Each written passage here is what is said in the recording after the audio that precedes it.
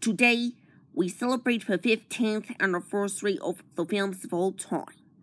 Columbia Pictures, Nicolas Cage, Eva Mendes, Ghost Rider. So, the movie has been released in theaters February 16, 2007, 15 years ago, today on this day. So, the comments, and this is Alaina Kane signing off.